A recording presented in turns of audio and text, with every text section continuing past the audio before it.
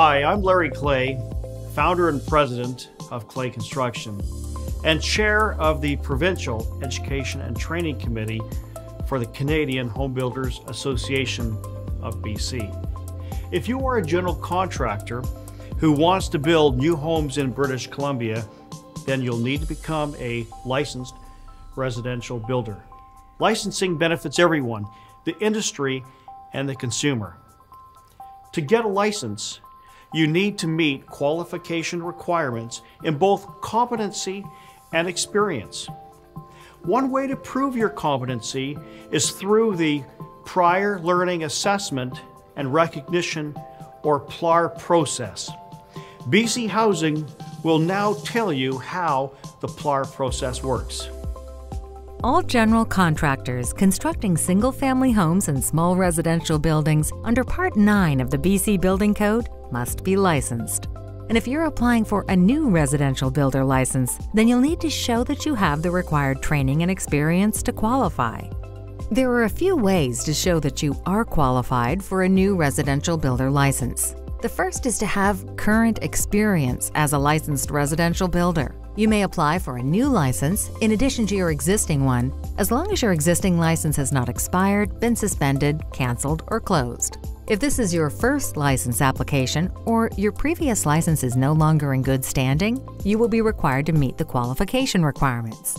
There are two ways to meet the qualification requirements the first option is to show that you have a minimum of 24 months of experience managing or supervising residential construction gained in the past five years, and by successfully completing approved training and examination in seven core competency areas. More details about the seven core competency areas will be presented later. The second way is to demonstrate that you have equivalent education and experience through the prior learning assessment and recognition, or PLAR process. The PLAR process recognizes on the job training, life experience, and other forms of training as ways to establish licensing qualifications. Sometimes people gain the knowledge and skills they need to carry out a task outside any formal education systems or approved industry or education programs. This is equally true in the construction industry. BC Housing believes that builders who already have extensive knowledge from on the job training should be able to show that they know what they are doing instead of having to take the prescribed training and exams. In the PLAR process, applicants send in evidence of these skills and knowledge for review. Assessors evaluate each submission to ensure the applicant has sufficient knowledge and skill to meet all the prescribed competency areas.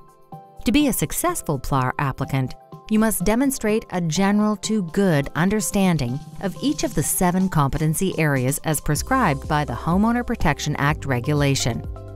In other words, you must have the necessary knowledge and skills to carry out your work responsibilities in a professional manner. The seven core competencies listed in the regulation are 1.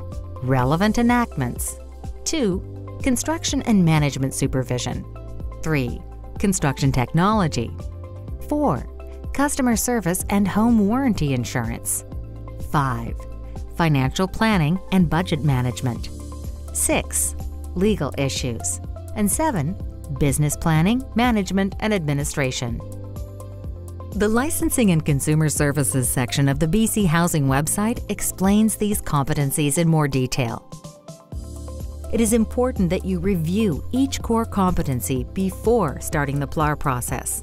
Knowing these details will help you with a self-evaluation of your education, knowledge, and other relevant training, which is the next step. When you review each of the seven core competencies, ask yourself the following questions. Have you taken approved training from a recognized provider for some but not all of the competency areas? Have you taken formal training that is not recognized but that might be equivalent?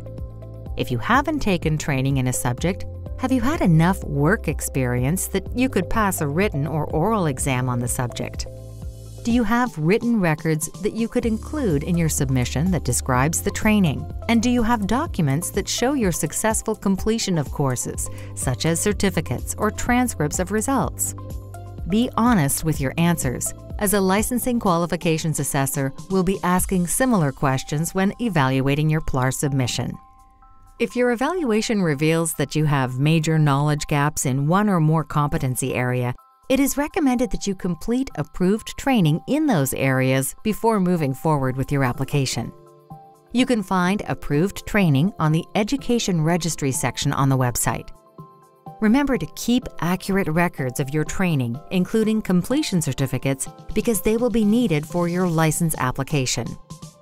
If, after completing your self evaluation, you believe that you have a sufficient understanding of all seven competencies, then the PLAR process may be the right path forward for you.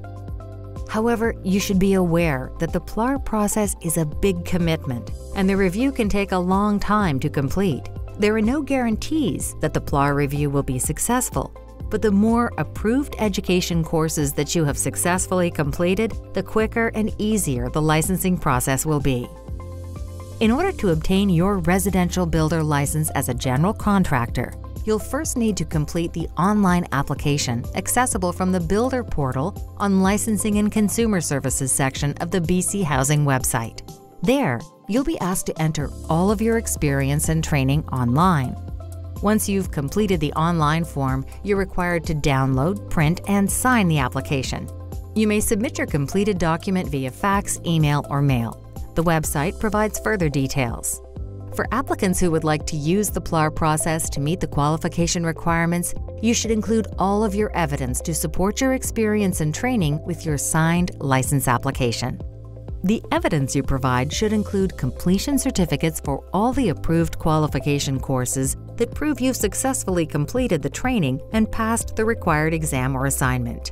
If you took courses that are not listed on the Education Registry as approved qualifications training, you should still include them in your application, but you'll need to identify which parts of the seven core competencies you believe the training covers. You will also need to submit the course syllabus or outline that describes the course content with your application. If you don't have training or equivalent training in all seven competencies, you'll need to provide evidence showing how your work experience demonstrates your competency in the remaining areas. In this case, we expect you to have significantly more experience than the required minimum 24 months in order to successfully demonstrate that you obtained your knowledge and skills on the job. We recommend that you provide a resume that lists all your work related to residential construction. It is important to include specific evidence of your experience because the more years of experience you are able to prove, the more likely your PLAR review will be successful. A licensing qualifications assessor will review your resume and the training records that you submitted with your application. No two PLAR applications are the same, and the assessor will work with you to identify what additional evidence will be required in order to recognize your prior training and experience. Remember, even if you have all the approved training or equivalent training in the seven competencies, you must still show evidence of your 24 months experience managing residential construction gained in the last five years. Evidence of experience may include references from supervisors, partners, and clients you worked for. The references should include specifics, such as the project address, start and end dates of construction, the type of project, was it a new build or a renovation, and your specific role in the project, such as site supervisor or project manager. If you've got copies of building permits with your name listed as the builder, then be sure to include those as well. Although experience managing residential construction of new homes is preferred, alternative construction experience, such as large residential renovations and commercial or industrial construction, may be considered as equivalent. Also, if your construction experience was not as a construction manager but in another capacity, perhaps as engineer or architect, you may submit any project experience you feel is relevant for review. In either case, if you wish to have your experience considered as equivalent, you must provide an explanation for how this experience directly relates to residential construction.